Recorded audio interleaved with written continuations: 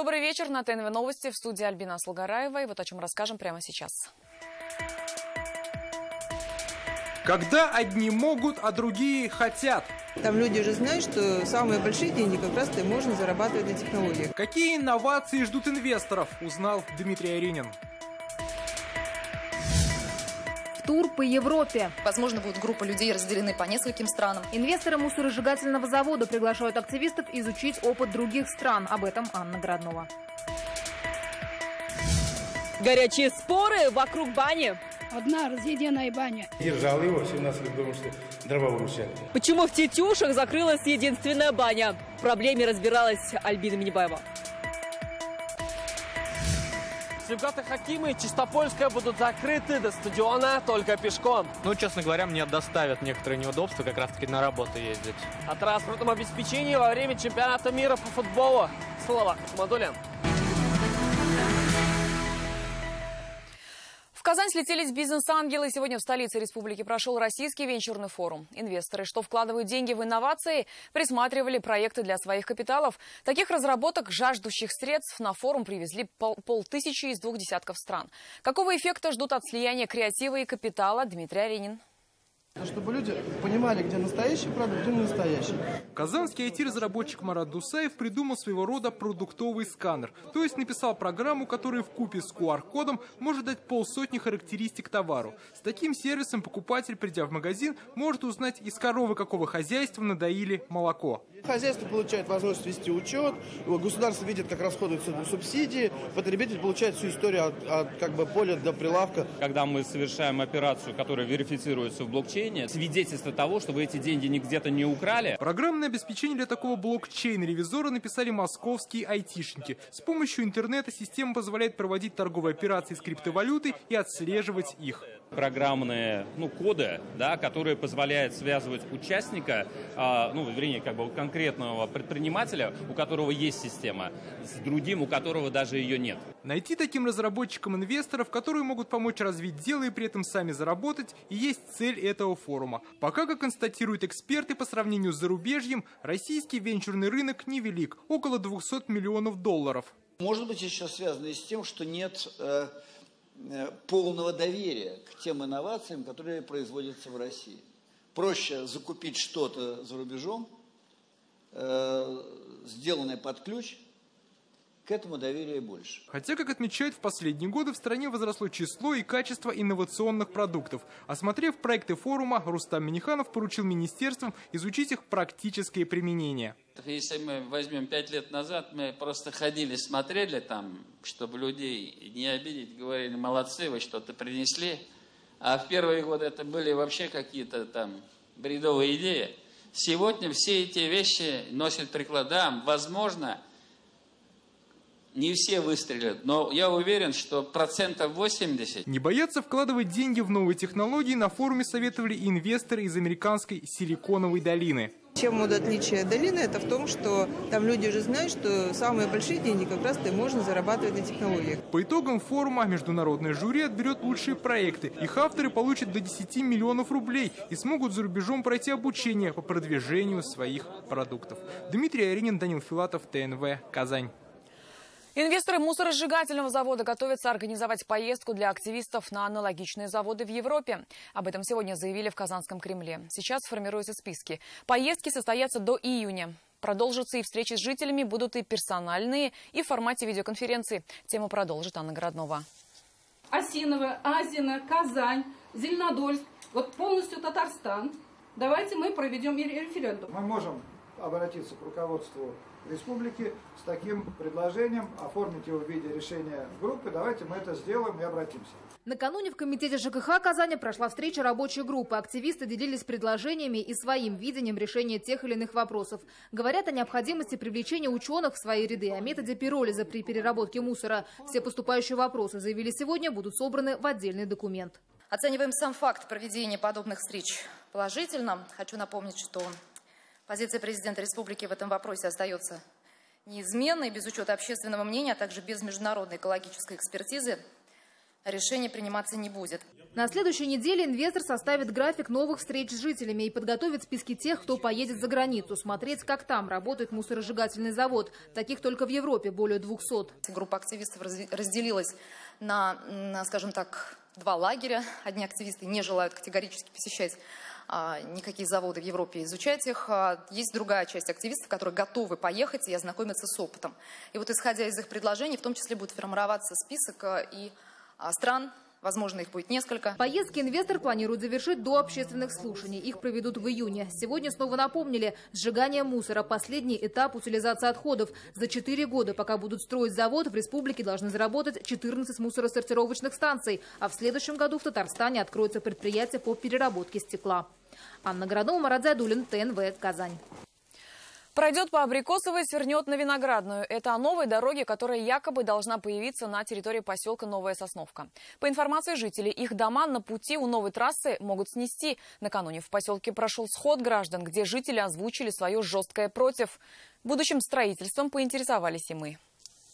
Это карта планируемого размещения объектов транспортной инфраструктуры. Жители показывают новый генплан Казани. Правда, он пока не утвержден, но на нем четко видно, что по поселку Новая Сосновка пролегает дорога. Об этом жители узнали случайно. Соседи ходили на Груздево, хотели получить разрешение на строительство, но, к сожалению, ему не выдали мотивируя это тем, что по новому э, проекту будет проходить дорога через поселок. И теперь жители практически ежедневно ходят в управление градостроительных разрешений, чтобы понять, быть дороги или нет. Ведь если это так, то могут снести порядка 40 домов, говорят владельцы. Многие строения новые, в них в основном живут молодые семьи, идти им просто некуда. Я мать пятерых детей, и все мои дети являются собственниками этих домов, официально зарегистрированы. Мы против строительства этой дороги. Мы хотим, чтобы эту дорогу провели по свободным территориям, где нет еще жилых домов. На сходе они выбрали инициативную группу. Единогласно жители проголосовали против сноса строений. На улице, наверное, будем жить. У нас внуки, у нас дети, у нас не знаем. За разъяснениями мы обратились в Министерство транспорта республики. Они переадресовали вопрос исполкому города. Нам пришло письменное сообщение. На данной территории действующим и разрабатываемым генпланом Казани строительство новой дороги стратегического значения предусмотрено.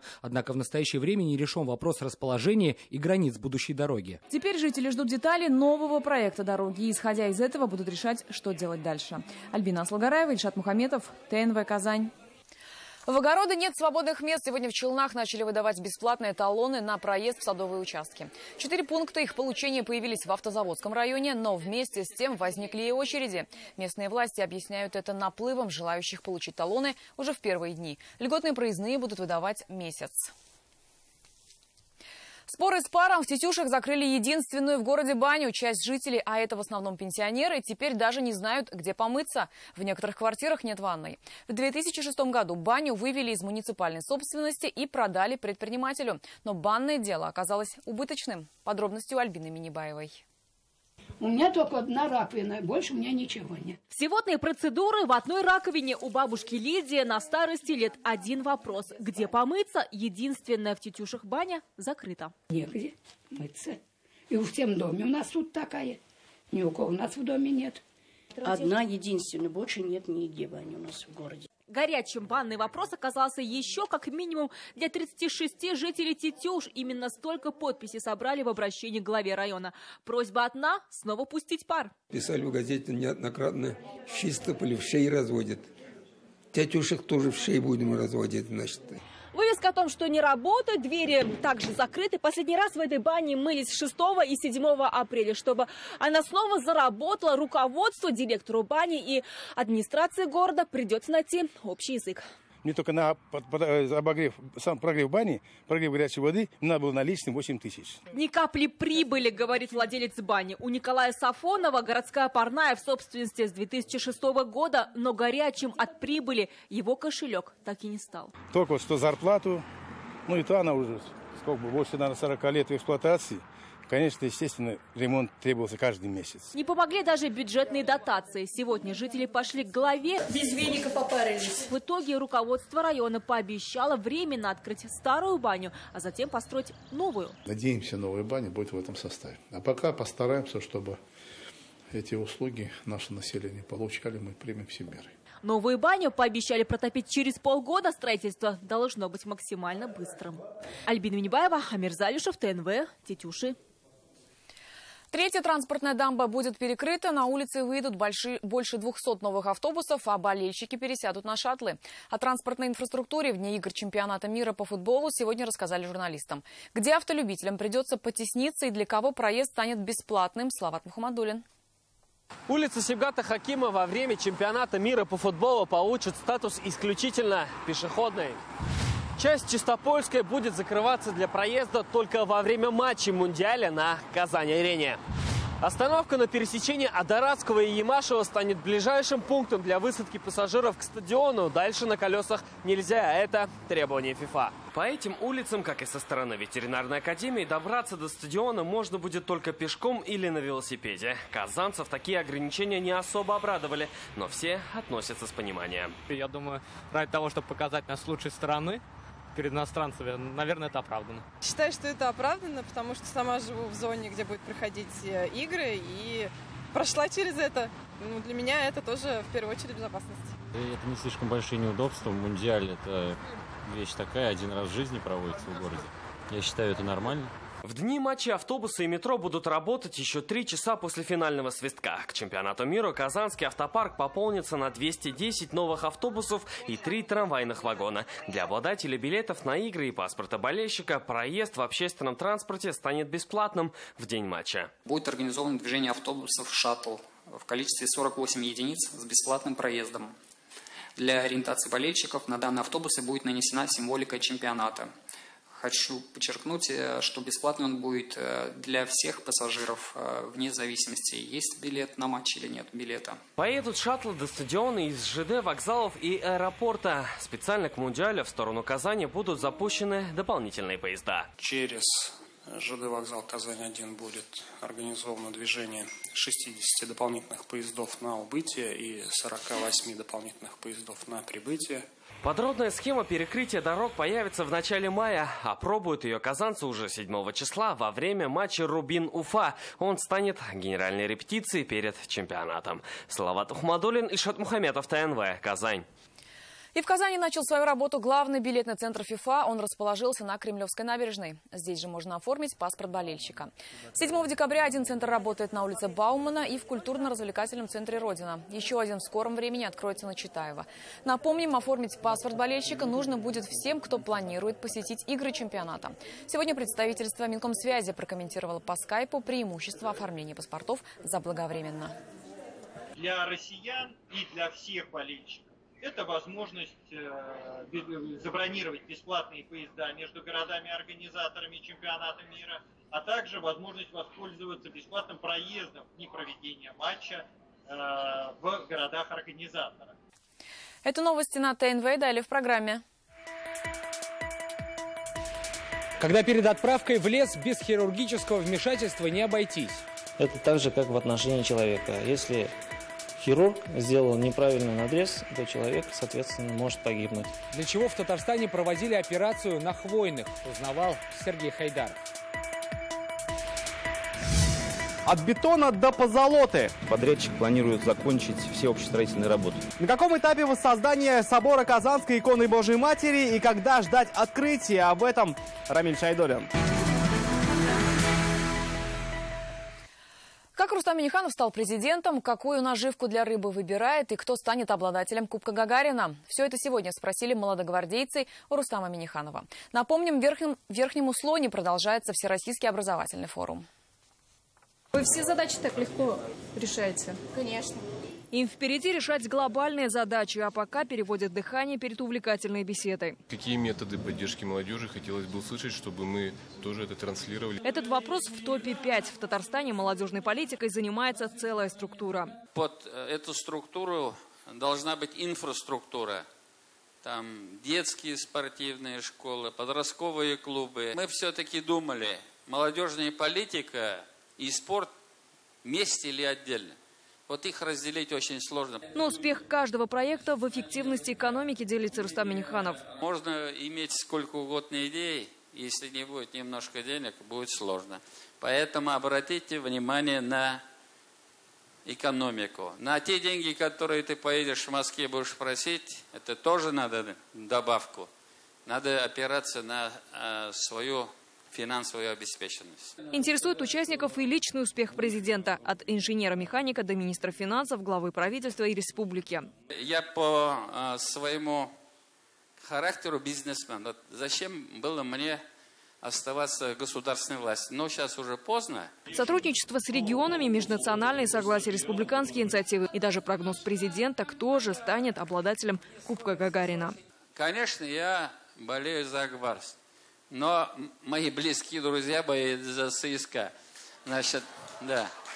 Мы за красивый спорт. Практически два часа живого открытого общения. Татарстан удивил гостеприимством. Теперь Рустама Миниханова ждут как минимум в двух десятках регионов. Исан Сабирова, Игорь Романов, ТНВ, Верхний Уфлонский район. В этом году в республике построят 28 сельских клубов, в 42 планируется капремонт. Обустроят 59 парков, скверов и набережных. Все это реализуется в рамках партийных проектов «Единой России». Сегодня в Госсовете обсудили новые направления. Есть предложение на федеральном уровне увеличить срок выплаты компенсации по уходу за ребенком до двух лет. Также планируется расширить меры поддержки многодетным семьям. В настоящее время в республике осуществляется 13 федеральных и 6 региональных проектов. Для людей все это делается все эти проекты. И участие в этом, вот нас, сидящих в этом зале людей, считать и не только своим долгом, но и большим доверием каждому. Завершается прием эссе от желающих стать журналистами. Напомним, ТНВ объявил конкурс на грант. Три победителя получат беспрецедентную возможность учиться в Высшей школе журналистики КФУ за счет телеканала. Итак, одиннадцатиклассникам-носителям татарского языка до 19 апреля включительно нужно заявиться на конкурс. Все подробности вы можете найти на сайте tnv.ru. Вооружились скальпелями и скотчем, чтобы провести мастер-класс для лесников Сабинского района. Здесь в специальном селекционном центре провели операции сразу на 500 хвойных деревьях. Зачем в лесном деле нужна пересадка? Сергей Хайдаров специальными прививочными ножами. Сегодня этот острый нож в руках хирурга не губит деревья, а делает их сильнее. За мастер-классом от лесных хирургов из Мариэл наблюдают лесники Сабинского района. Обычные ели они скрещивают с так называемыми плюсовыми хвойными. Последние и устойчивее, и растут быстрее. И прививочные компоненты мы обвязываем. Два ровных надреза закрепили, крепко обвязали скотчем, и процесс пошел. По словам специалистов, новая ветка не только приживется, но и передаст свою генетику всему дереву. Напряжение, как в операционной. Одно неверное движение, и колючей красавице не жить. К сожалению, восстановить его уже будет невозможно. Это так же, как в отношении человека. К счастью, сегодня обошлось без жертв. За процессом внимательно наблюдают представители Федерального агентства лесного хозяйства. Они уже назвали Сабинский центр селекции одним из главных поставщиков хвойных. В Российской Федерации из пяти существующих подобных центров э, этот является наиболее мощным. Ели татарстанские, техника заграничная. Для воспроизводства хвойных здесь созданы лучшие условия, а самые маленькие деревья крепчают в огромных теплицах. Таких здесь четыре. Тепло, светло и вовремя кормят. Такие условия ждут молодые хвойные саженцы в этой теплице. И учитывая, что их посадили еще только в марте, первая зелень уже появилась. Местные специалисты дадут им пожить здесь еще месяц и переселят на поля доращивания. Если тепличные ели еще только готовятся к самостоятельной жизни, то их привитые старшие братья вскоре после операции будут готовы жить в лесу. Их планируют рассадить в Сабинском и Арском районах. Сергей Хайдаров, Амир Залюшев, ТНВ, Сабинский район. Купола засияют осенью. К 4 ноября на воссоздаваемом соборе Казанской иконы Божьей Матери появится позолота, кресты и иконостас.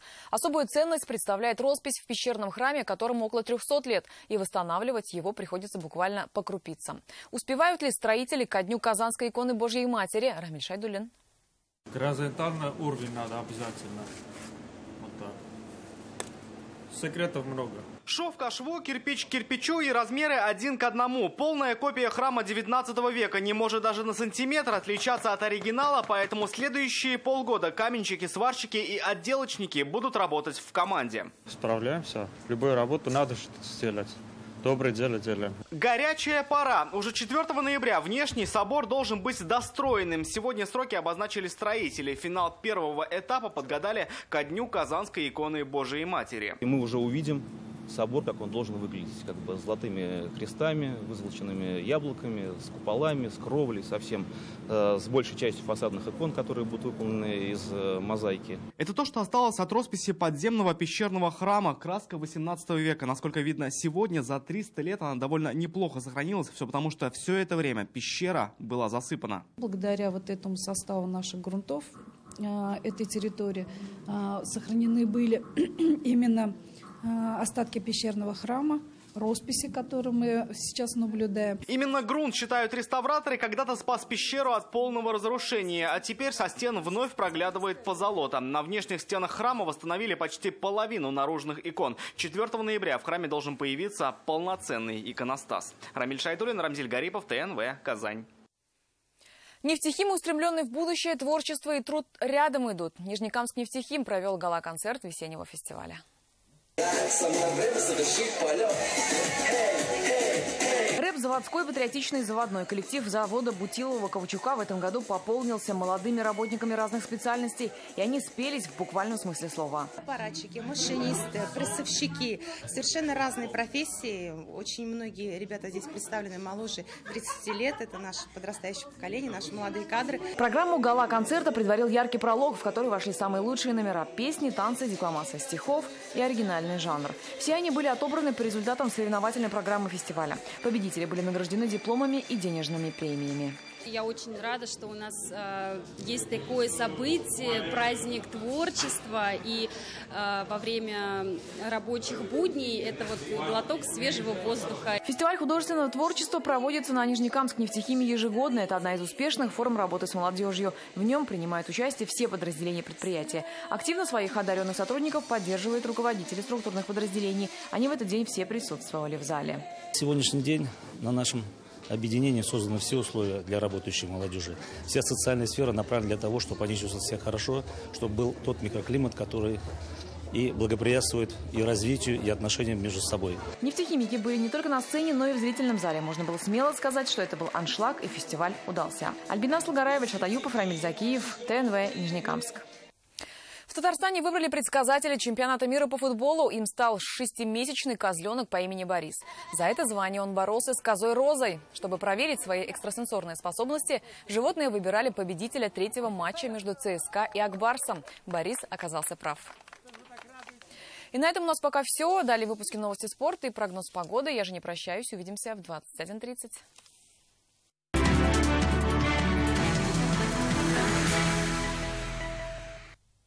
Добрый вечер. Время новостей спорт на ТНВ в студии Алмаз Гафиятов.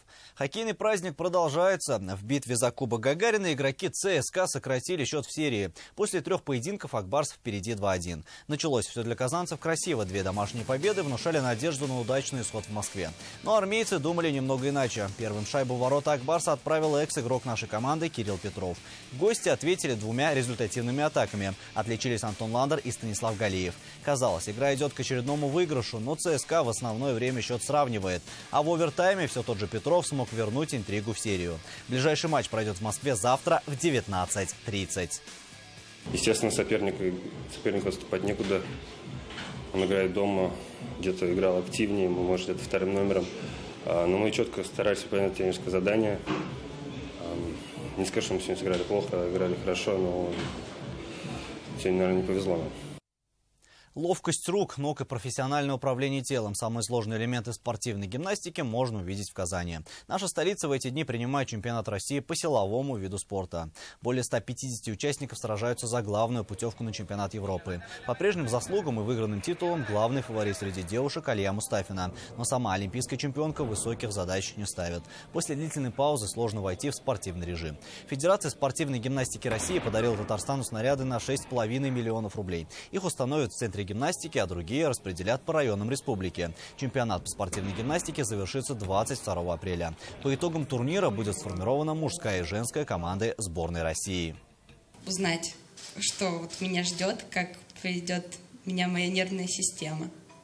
Но я считаю, что все-таки этот чемпионат России для меня будет такой самый необычный, самый важный старт. И единственный, наверное, старт, от которого очень тяжело чего-то ожидать. И в завершении новости фехтования татарстанские рэперистки взяли золото первенства Европы в командном турнире. Аделя Абдрахманова и Регина Гарифулина выступали вместе с Оксаной Мартинес Хуареги и Кристиной Самсоновой. Соревнования завершились в Ереване. За победу в командном турнире боролись шесть команд. В полуфинальном этапе были обыграны итальянки со счетом 45-34. В финале наши девушки встретились с рэперистками из Польши в поединках за золотые медали. Взяли вверх со счетом 45-36. И это все новости спорта к данной минуте. Будьте здоровы и занимайтесь спортом. До свидания.